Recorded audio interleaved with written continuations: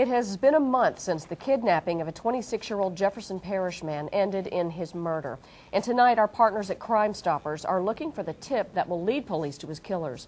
Detectives retraced his last steps for me at the scene of the crime. The shattered streetlight on Providence Street in River Ridge made it very dark about 5 a.m. on March 1st. But a neighbor told police he saw something strange in this lot. Yes, ma'am. And what did they Um, see? In the middle of the lot here, he saw one black male.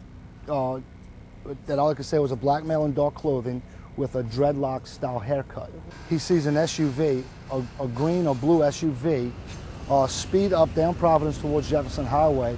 It stopped and backed all the way across this lot. Through our investigation, we do believe that the victim was abducted from this lot here on Providence. I mean, we found his cellular phone, uh, his belt, uh, his wallet with his ID, and 110 Jefferson Highway.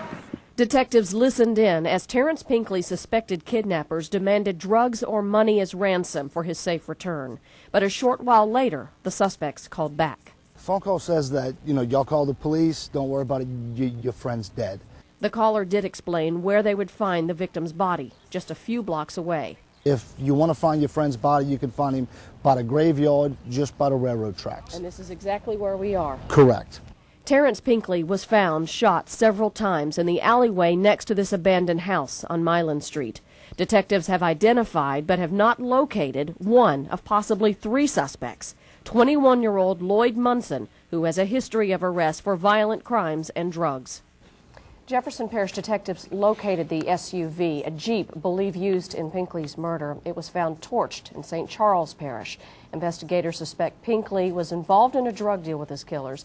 If you know where Lloyd Munson is, Crime Stoppers will pay you $2,500 cash for his arrest and indictment. Call 822 1111.